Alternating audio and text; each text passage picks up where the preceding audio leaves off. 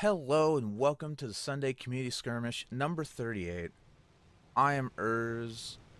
Uh, coming into last minute here, it looked like Velvet was a little light on help, so I'm going to be streaming the secondary stream today. Uh, and I have not streamed in a very long time, so let me know if there's anything amiss with the broadcast, be it audio levels or the quality of the video, what have you. But I'm going to get into the loadouts now. Uh, on the red team, which is Starbards, I, I guess, we have the... Oh, we already have an engagement. Uh, looks like Quacker's coming in on the Falling Turtle. I don't know what any of their guns are, but they're Pyramidions, so they're probably Gat Mortar. Falling Turtle is going to be trying to shield their ally from the brunt of this fight, um, being the tankier of the two ships.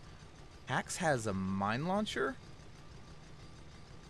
Almost gets a nice hit on the Quackers, just a little bit off. Falling Turtle loses its hull armor. Moose on the loose. Looks like both the Red Pyramidions are still trying to focus down the Galleon. And now Hax is all alone. This is a bad situation. It's difficult to get quick kills with the mine launcher um, especially in a 2v1 situation. Um, you can't just run through enemy ships like you could with perhaps a Gat Mortar. Uh, but looks like Hax might get away. Uh, interesting usage of tar here. We don't see a lot of Pyramidion pilots with uh, with that tar. Most opt for three mobility tools, but Hax doesn't seem to be long for this world. No, still alive. Uh, no, Gets the hull armor up just in time to lose it again as he crashes into the terrain. But uh, let me take a moment to go over the loadouts here. First we have the Quackers, piloted by Nano Duckling. Uh, and that is Gat Artemis? Question mark. Uh, with an AI, it looks like DJ Logicalia has disconnected. Um, their ally, the Moose on the Loose, which is your typical Gat Mortar Pyramidion. Um, Montucky opted to bring impact bumpers. Um, and on the other team, which is WAD, I don't know what WAD stands for. Maybe somebody could tell me in the in the chat. Uh, we have a galleon, and mm, it looks like it's it's a brawler. Uh, with the Gat left side Gat Hwacha Hwacha, right side heavy Carronade Hwacha, and a rear mine launcher for funsies, piloted by Itro, and their ally, the Hax a mine launcher banshee piloted by Lochnagar, uh, a man after the Thrall's own heart, uh, Kit Kat Kitty on that mine launcher. It'll be an interesting game, I suppose, um, unless they get rolled over again like they did in that previous previous engagement. But the positioning on the Falling Turtle is so important because, like, pers personally, I've never really liked close range exclusive galleons just because it's such an a not a very maneuverable ship. And close range that is so important because that the enemy pyramidions, like there's so many blind spots. You could come in high, you could come in from behind or in front, come in from an angle that those Hwachas will not be able to return fire. Um, it's just not a very versatile loadout as opposed to say uh, a mixed build which would have like long range on the left side forcing your opponent to come to you and taking damage in the process but it looks like we'll have another engagement in blue sides of the map uh, as the two red pyramids come down. Also, let me know if we need a little more game audio. I didn't have time to really balance it or anything, so just let me know. Uh, hull armor going down from the moose. Looks like Falling Turtle is opting for some mid-range Hwacha. Um, although we're not seeing any Hwachas going off. Uh, I guess, oh, right, the art, uh, the Artemis? probably taking it down. Quacker's moving into the Falling Turtle. Moose on the loose. Took a mine hit. They have to pull back, reposition a little bit. But now Hax is closing in on the Quackers. And with a nice ram. Uh, getting them off their ally. This is a, a team composition you see often. Or not team composition, but like a, uh, a positioning setup. Uh, almost getting that mind there on the Quackers. Quackers with some nice mobility, hydroing up, and trying to reverse over the Hax. but looks like he's not going to be over uh, able to as the Hax rises to meet them. Uh, Moose on the Loose is coming into support, taking a huge Hwacha volley in the process, uh, losing most of their guns. Now our whole arm. This is a weird engagement, almost kind of like a, a ring around the rosy as every ship in the game is targeting a different one. Uh, so they're almost chasing each other in a circle. Uh, very strange.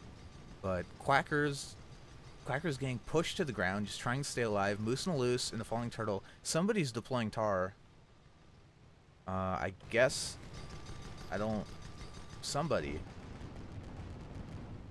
Perhaps the Hax, but looks like blue team has the upper hand and the uh, the literal high ground in this engagement, but the red Pyramidion does go down. And Quacker's in a tricky situation. How does he want to try to disengage? It looks like he's going to try to kerosene forward, uh, try to get to the west passage of the map so he can take it back to his spawn zone. Not sure if he's going to be able to. It's going to come down to one of these mines. If Hax is able to get one in time, looks like Quackers is going to make it out of range, so that won't be a possibility. And since the Galleon, not the best chasing ship, um, blue team's probably going to have to let him go. Unless Hax can maybe cut... This is probably his only chance to cut him off. Artemis trying to take out the Quacker's engines. Slow him down a little bit, but... Where's the mine? No mine? No mine's coming out. Ooh, Quacker's unfortunate positioning about to actually... Well... Oh no, he's actually going to try to go through this little hole. Ooh, good mine hit.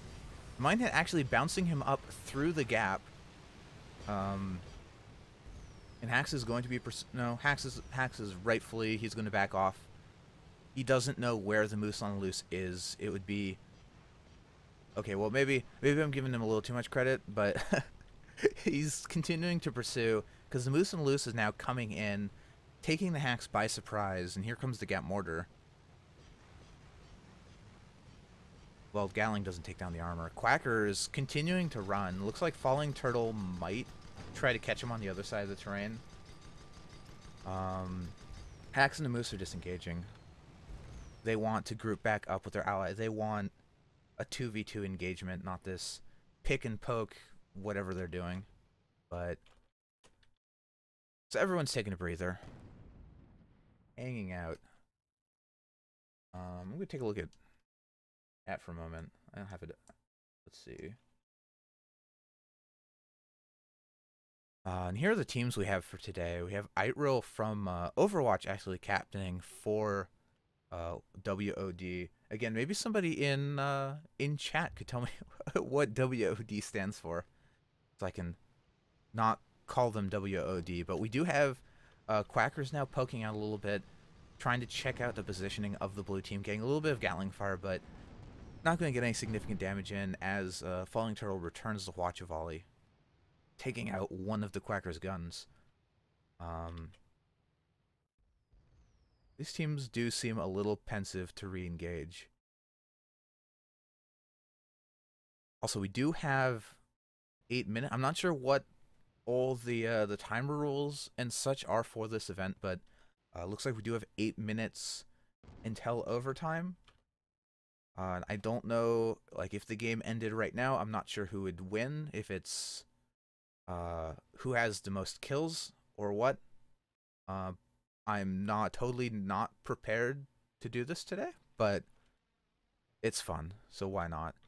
Uh, teams continuing just trying to scope each other out. Nobody really wants to commit to an engagement, and rightfully so, because, I mean, just a little bit of mispositioning, say, from the red team in a nice connect from a watch volley, and they're totally disabled, so they have to be very careful how they want to go in against the blue team.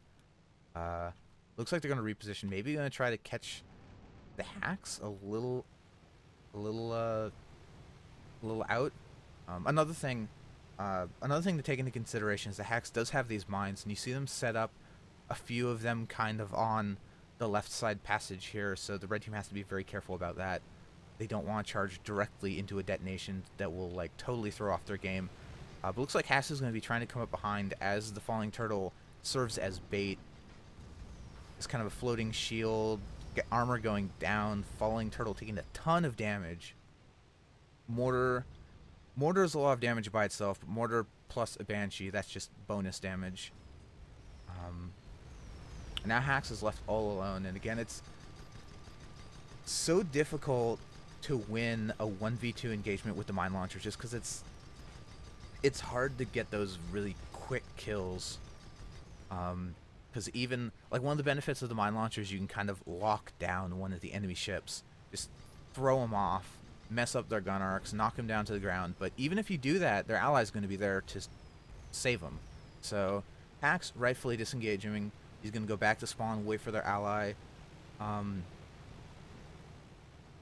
uh, what does I forget was Axe have with this mine launcher? Banshee? Um, yeah, doing a surprising amount of hull armor damage to the red team uh, during this little this little pensive whatever. Um, but yeah, now the noose is closing in on the Hax, and falling turtles might not be able to get there in time.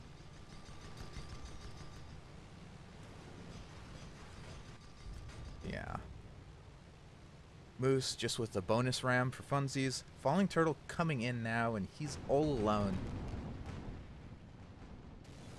Maybe some nice watch volleys. Um, actually doing a significant amount of damage to the Moose. Um, disabling their engines that are unable to turn around. This is what they need if they want to survive long enough uh, for the Hax to come back in, but Quackers is on them. Flare going out from somebody. Uh, somebody wants spots somewhere. But Falling Turtle losing the hull armor again. We're going to see history repeat itself. I'm not sure if I'm still alive. Um...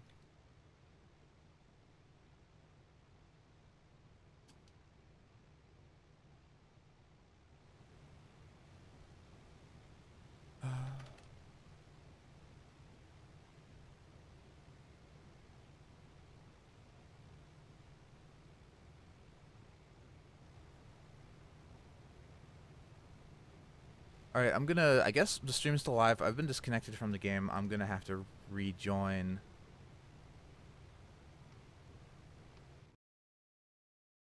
On, uh, on Duel at Dawn.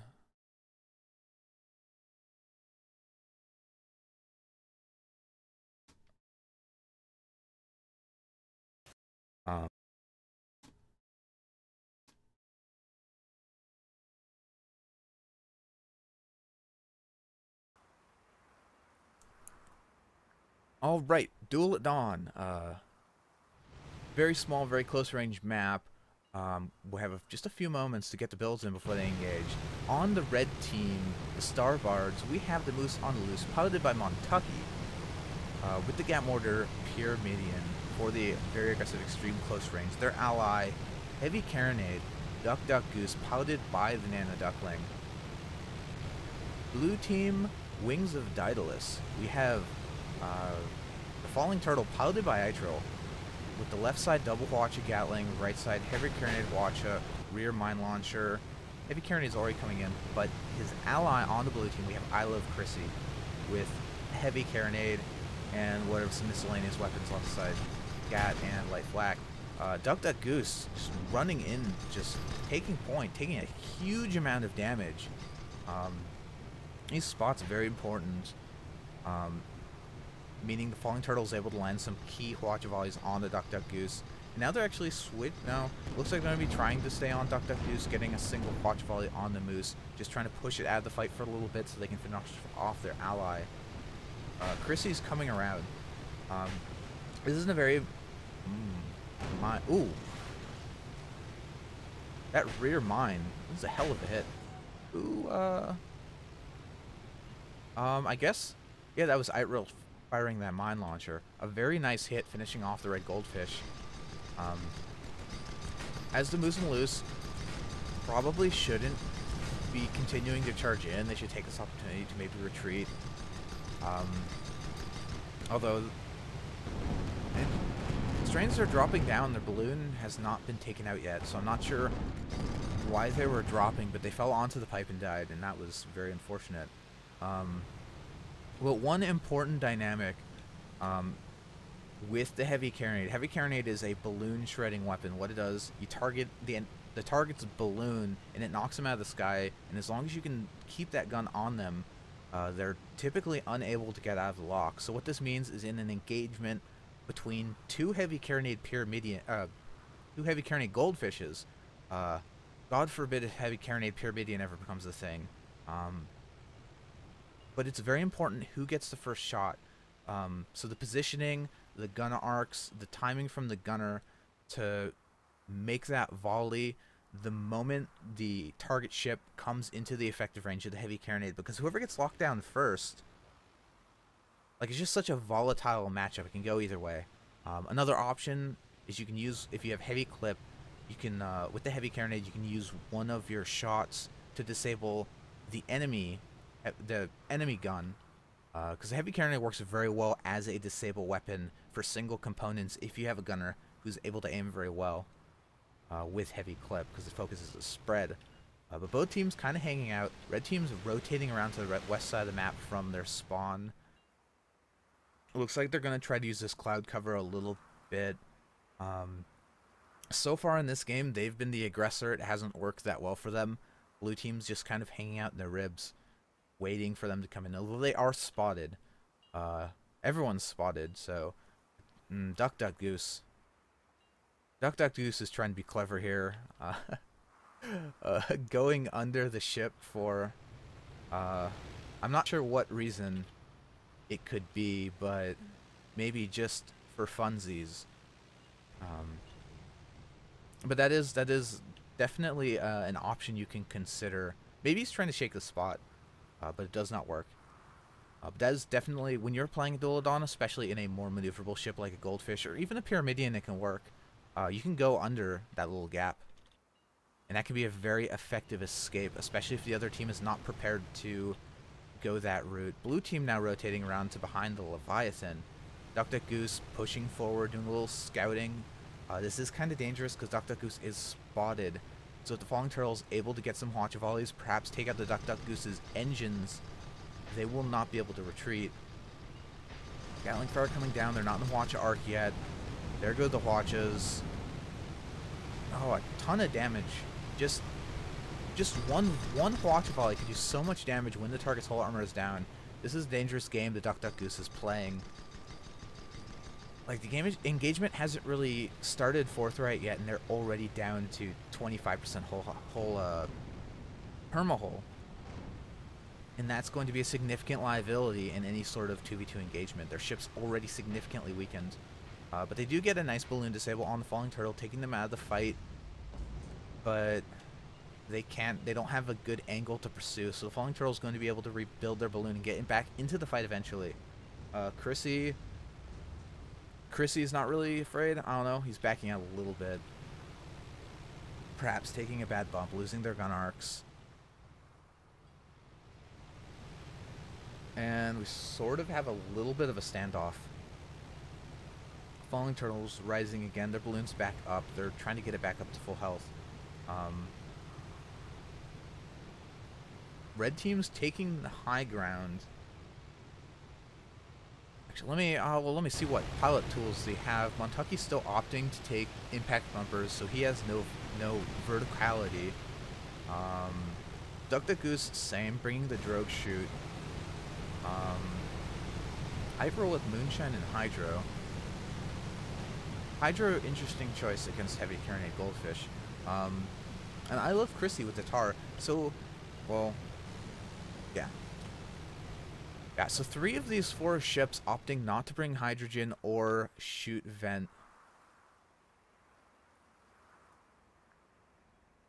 So I would think if you're in a heavy carronade goldfish, you'd probably want to try to, and you don't have any verticality tools, you probably want to try to come in level with the target because it'll, it'll take, if you come in high, the heavy carronade does not have very good downward arcs and it'll take you a while to just, to line up the shot to drop fast enough.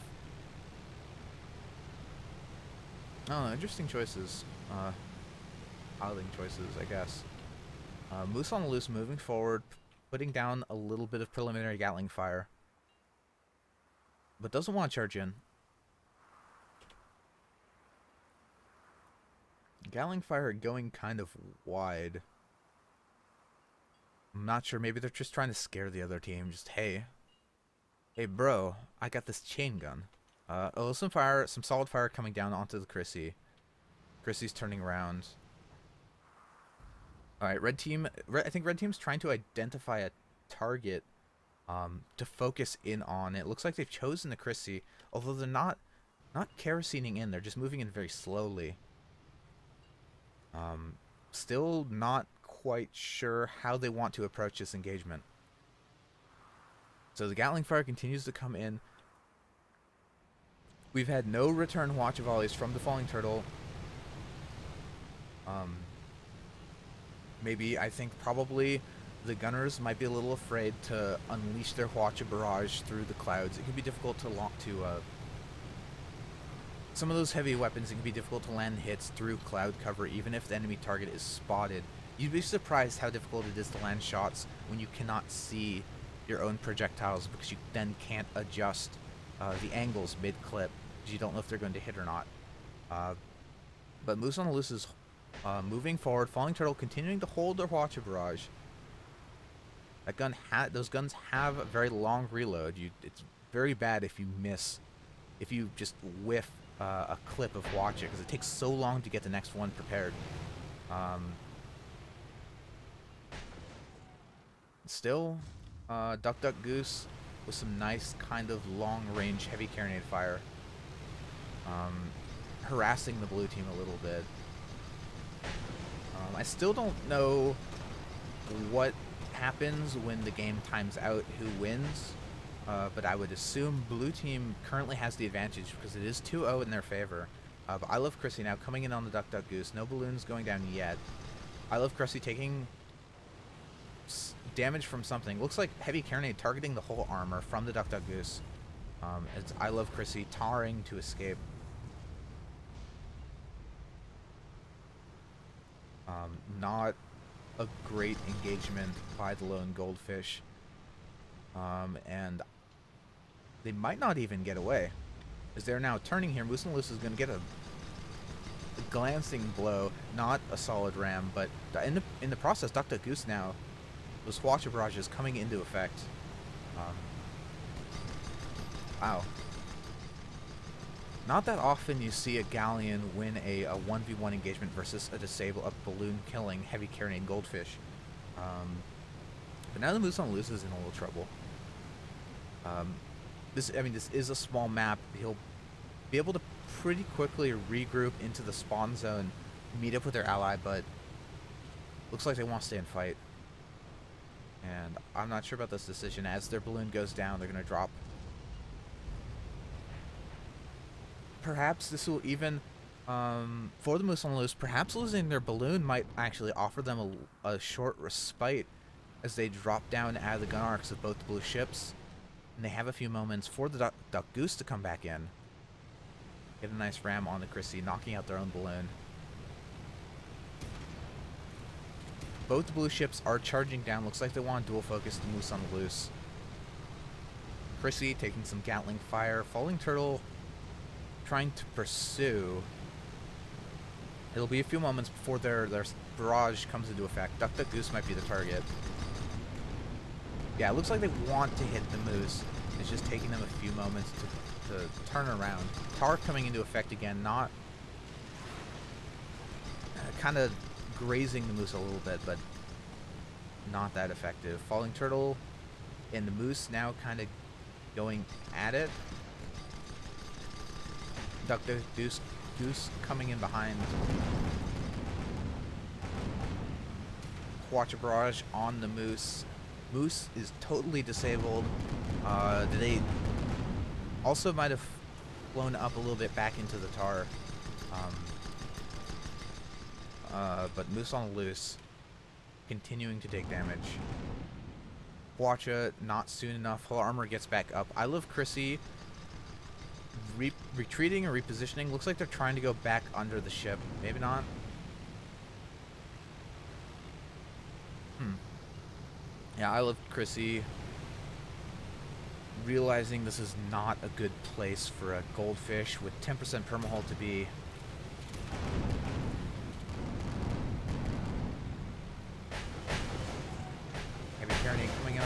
Goose.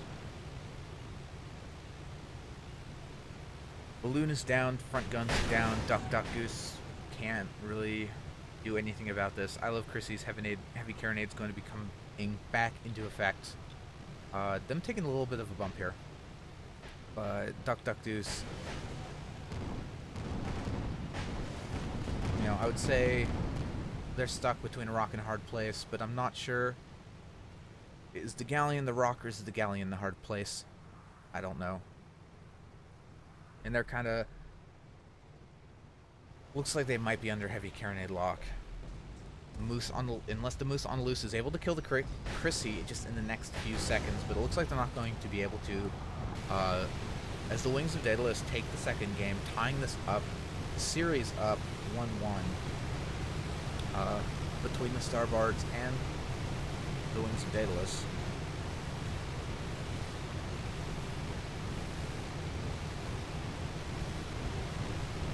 Let's see, what's the next map?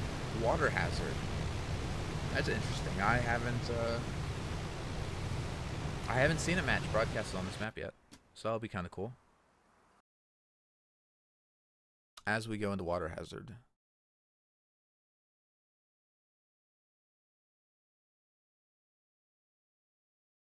You know, and as, as I was kind of talking about how this the squid and the mobula is an interesting combination, uh, I imagine these two two red pyramidions on the starbards with their extreme long range, they're going to be trying to kite the enemy team, stay very far away, and just lay down sniper fire.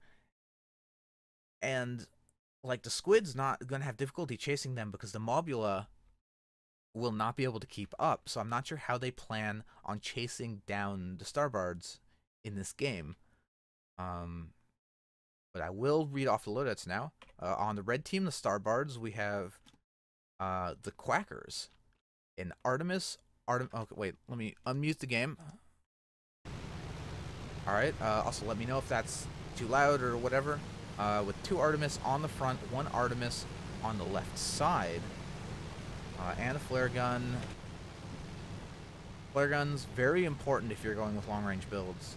Um, it really helps to get those spots. Uh, and they're allied Moose on the loose with double mercs on the front, piloted mon by Montucky, and they have two, uh, no, they have a flare gun of their own and a, a Banshee on the side.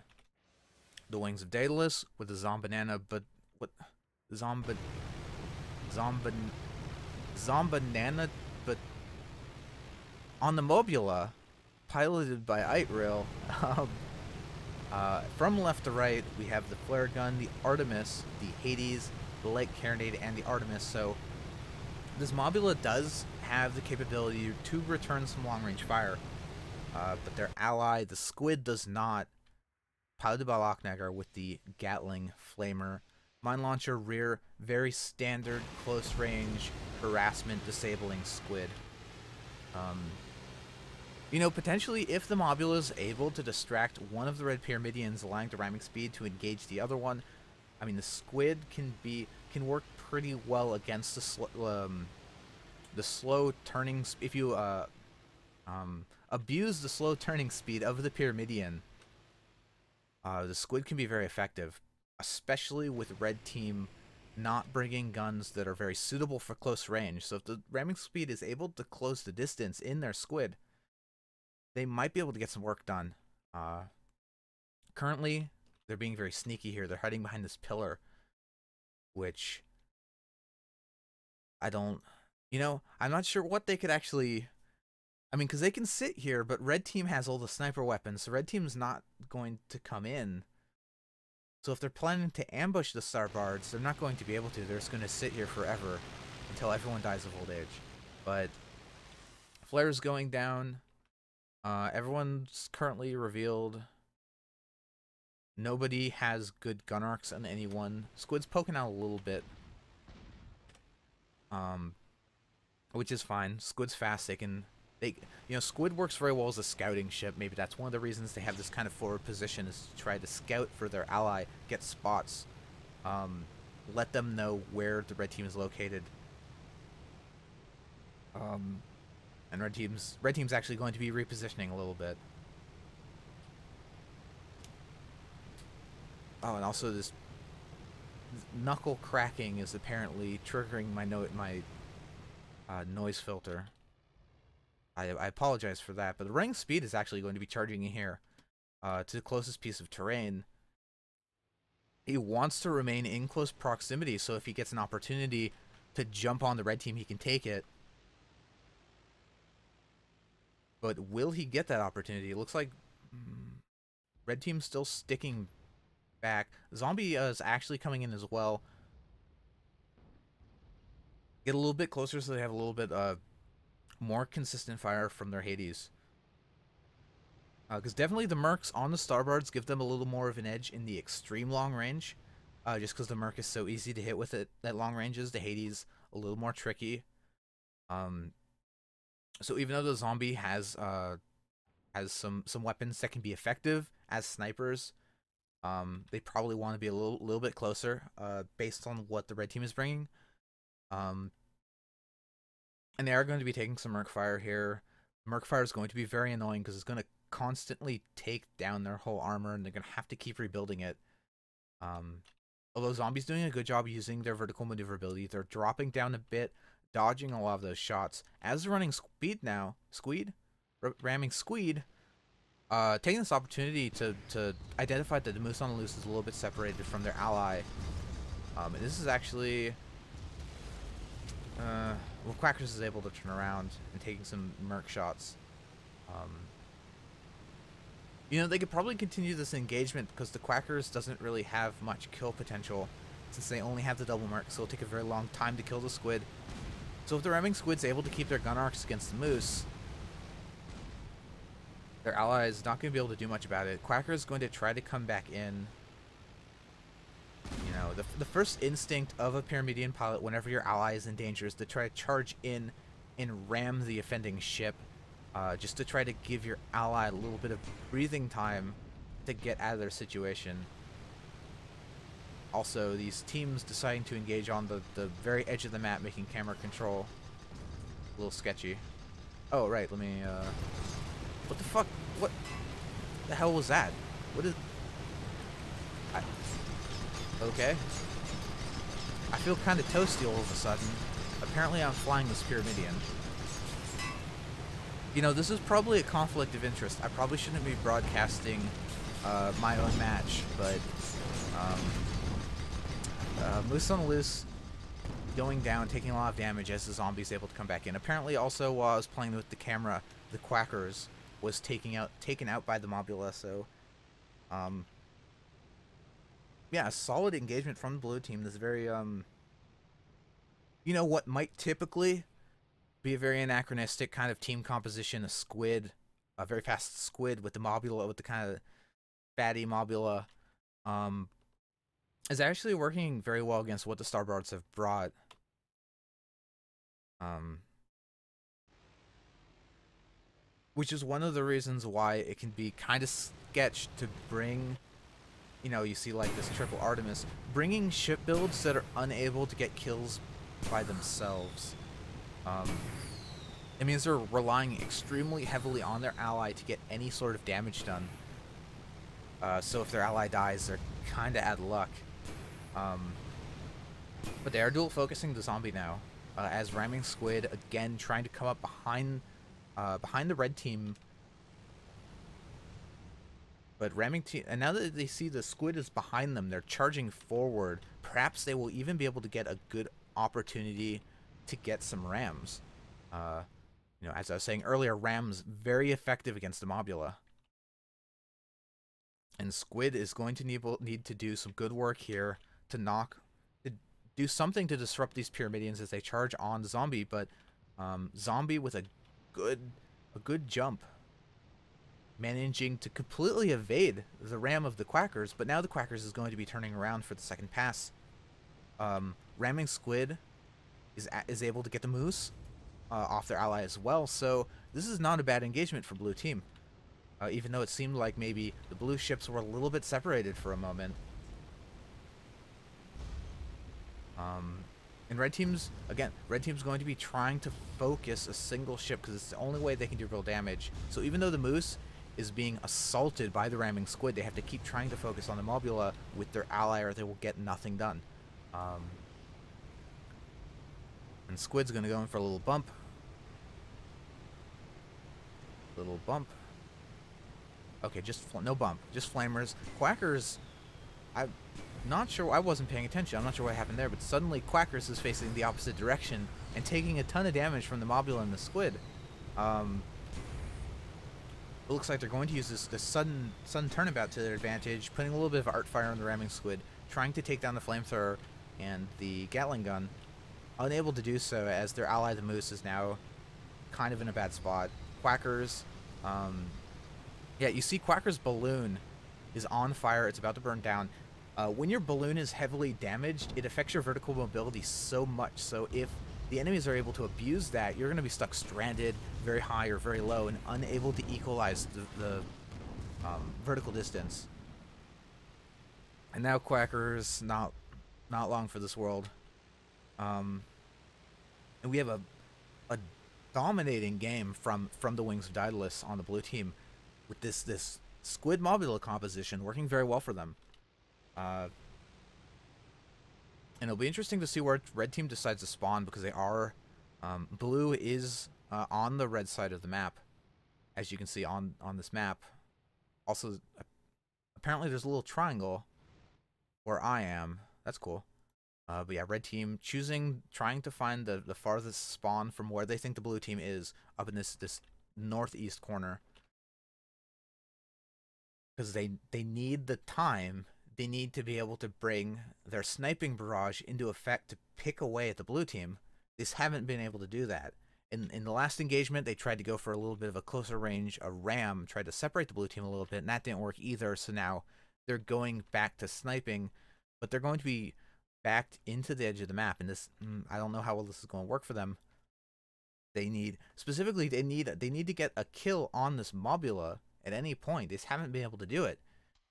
You see the the Mobula still. Oh well, okay. Now they're taking out taking some damage. Um, but previously they're only had taken about 30% permahull damage this entire match. So like the sniping just not working out for the Starbards. Um, and this is really their only their last opportunity before they're eliminated from this tournament.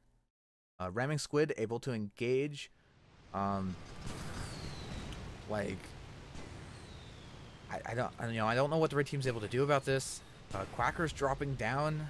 I don't know. I guess they're going to try to take out the Squid engines. Disable its mobile. Ooh, nice tar from the Squid. Um, is zoning out the Quackers, giving them free range on Moose. And the Moose is extremely low with less than 10% permahull, so just any hull break is going to end the game. And we have the match decided 2-1 in favor of the Wings of Daedalus, and they will move on